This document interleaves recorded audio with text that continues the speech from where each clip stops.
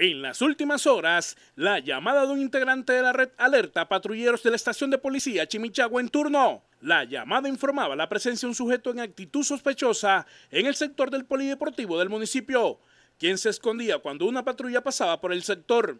Con las características del sujeto brindadas por el ciudadano, se organiza un operativo el cual permite sorprender a este hombre evitando que se escapara. El hombre capturado es identificado como Miguel Ángel Villalobos Moreno, 22 años de edad, el cual se había fugado de un sitio de reclusión en la ciudad de Valledupar el pasado 6 de mayo del 2019, donde pagaba una condena de 72 meses de prisión, impuesta por el juzgado segundo penal con funciones de control de garantías de la ciudad de Valledupar, mediante sentencia del 6 de marzo del año 2019 por el delito de hurto calificado y agravado. Adicionalmente, Villalobos está indiciado en la ciudad de Valledupar en tres procesos por los delitos de violencia contra servidor público, hurto calificado y agravado y porte de arma de fuego.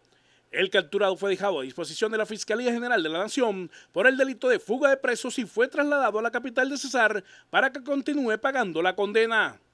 Hola Valledupar, te saluda a tu candidato al Consejo, Reinaldo Vega Zuleta. En materia de seguridad, sería para mí fácil venir a ofrecer aumento de pie de fuerza, ofrecer cámaras de seguridad en todos los barrios, pero esa no es función de un concejal porque nosotros no somos ordenadores de gastos.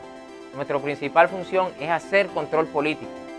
Y me comprometo que del Consejo Municipal de Valledupar citaré a un debate o a lo que sea necesario sobre la seguridad. Y en ese debate propondremos la, la Secretaría de Seguridad y Convivencia Ciudadana.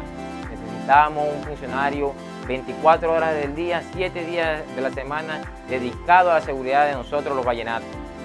Queremos volver a ese Valledupar de antes, donde nos sentábamos en las puertas de nuestras casas sin miedo a ser atracados, donde nuestros niños y niñas jugaban a, a kimball, a Jerwin, a los diferentes deportes y juegos que nos gustan a nosotros los vallenatos.